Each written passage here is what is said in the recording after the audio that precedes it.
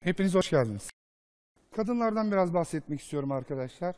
Kadınların en büyük sorunu saatte 180 ile giderken makyaj yaparak araba kullanmaları. Daha sonra ne olduğunu biliyorsunuz değil mi? Ani bir fren, hızlı bir kaza, pamuğu tıkıyor, hop! Neredeyim ben ya? Cehenneme hoş geldin abla. Nasılsın? İyi de erken olmadı mı ya? Ablacığım yapacak bir şey yok. İçeri gidecek misin yoksa arkadaşlar mı alsın? Ee, bir saniye ya çantamda güneş kremi mi olacaktı? İçerisi bayağı sıcak değil mi? Hazırım ben alın beni içeriye. Ne yapıyorsun abla? İçerisi bin derece. Koruyucu var bende koruyucu bir şey olmaz ayol. yapıyor Her yerde böyle Ne şeyler değil mi o espri ablalar? yaptığını Neyse toparlıyorum. Kardan adamı biliyorsunuz değil mi? O kardan adam kendi halinde bir adamdır. Kardan adamı yani bulaşmaya hasta olan insanlar var ya. Türk insanının garip huylarından biridir mesela.